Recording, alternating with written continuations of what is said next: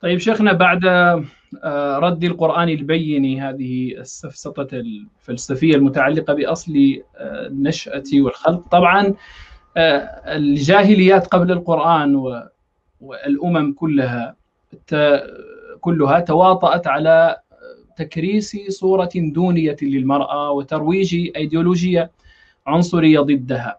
كيف أعاد القرآن للمرأة الاعتبار وما هي مظاهر تكريمها؟ يعني ما منزلة المرأة في القرآن؟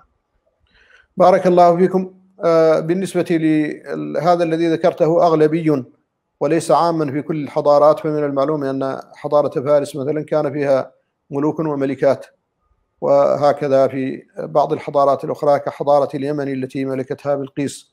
إني وجدت امرأة تملكهم وأوتيت من كل شيء ولها عرش عظيم وقد انقاد لها قومها. فقالوا نحن أولو قوة وأولو بأس شديد والأمر إليك فانظري ماذا تأمرين. لكن بالنسبة لكثير من الحضارات وكثير من البداوات أيضا ظهر فيها هذا الحيف على المرأة. ومن ذلك ما كان سائدا لدى أهل جزيرة العرب في الجاهلية من نظرتهم الدونية إلى المرأة. وقد قال الله تعالى وإذا بشر أحدهم بالأنثى ظل وجهه مسودا وهو كظيم. وكذلك قال تعالى ومن ينشأ في الحلية وهو في الخصام غير مبين ومع ذلك جعلوا الملائكة الذين هم عباد الرحمن إناثا. فهذا التناقض لدى أهل الجاهلية واضح. لكن الله سبحانه وتعالى كرم المرأة وبين أن الموءودة ستسأل بأي ذنب قتلت. قال وإذا الموءودة سئلت بأي ذنب قتلت. وذلك من شأن أهل الجاهلية لأنه قال آه وإذا بشر أحدهم بالأنثى ظل وجهه مسودا وهو كظيم يتوارى من القوم من سوء ما بشر به. أيمسكه على هون أي على مذلة وهوان ودناءة أو يدسه في التراب؟ يمسكه على هون أما يدسه في التراب؟ هذا هو الوأد. وحرر الله المرأة من ذلك وحرم قتل النفس التي حرم الله إلا بالحق. ثم بعد ذلك ساوى بين النساء والرجال في الحقوق.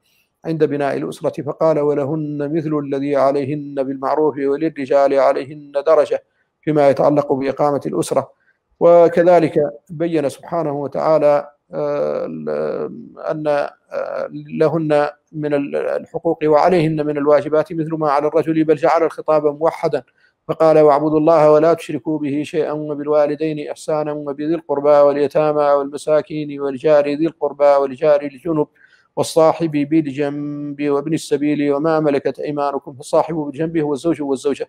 ولذلك ساوى بين الوالدين في الحقوق فقال وقضى ربك ألا تعبدوا إلا إياه وبالوالدين إحسانا وقال واعبدوا الله ولا تشركوا به شيئا وبالوالدين إحسانا وقال تعالى ووصينا الإنسان بوالديه إحسانا وقال تعالى ووصينا الإنسان بوالديه حسنا وقال تعالى ووصينا الإنسان بوالديه وكذلك آه، ما يتعلق بحقوق النساء على الرجال فقد شرفهن الله سبحانه وتعالى وحررهن من هذه القيود حتى ما كان من شأن أهل الجاهلية من العوائد كانت المرأة إذا توفي زوجها تحبس سنة كاملة آه، لا تتطهر ولا تتزين ولا تخرج.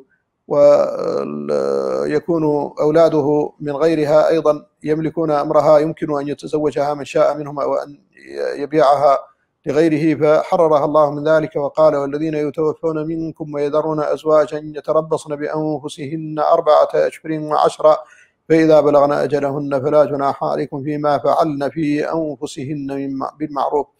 فجعل ذلك إليهن وجعله فيما فعلن في أنفسهن.